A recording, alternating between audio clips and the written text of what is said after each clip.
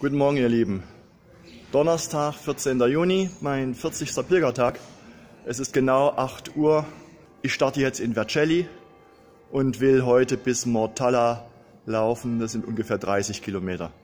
Es war ein ganz toller Aufenthalt in dieser Auberge und ähm, ich hoffe, dass der Weg gut ist und dass ich einen schönen Tag habe. Das Wetter ist auf jeden Fall schön. Kurz hinter Vercelli der Fluss Sessia. Das Wetter ist schön und es verspricht ein herrlicher Tag zu werden heute.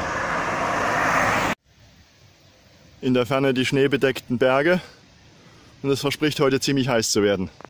Reisfelder, soweit das Auge reicht.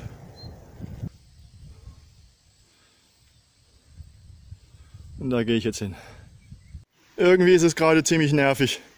Der Weg ist schlecht, ich muss laufen den Monowalker stabilisieren. Und dann jetzt noch hier dieses schmale Brückchen mit anschließenden Treppen hoch. Ich bin alles andere als begeistert. Das Hindernis habe ich erstmal überwunden, aber offensichtlich scheinen sich hier der Radweg und der Fußweg getrennt zu haben und ich habe es nicht gemerkt. Und bewege mich jetzt auf dem Fußweg. Bin gespannt, was mich hier noch erwartet jetzt. So, zum Glück jetzt wieder auf einem etwas breiteren Weg. Hoffe mal, dass das noch eine Weile so anhält. Und hier geht die Via Francigena weiter, immer an den Reisfeldern entlang.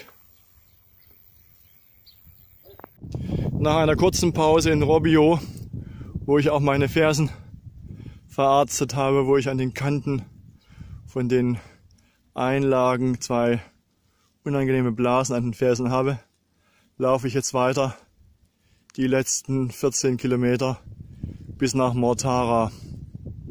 Die Sonne brennt, ich denke mal sind bestimmt 35 Grad. Ibisse im Reisfeld und ansonsten eine gnadenlos und schier endlose Straße und Temperaturen um die 35 Grad. Wirklich tolle Kanalsysteme, was die hier haben. Und hier habe ich heute Nacht mein Quartier noch mit sechs anderen.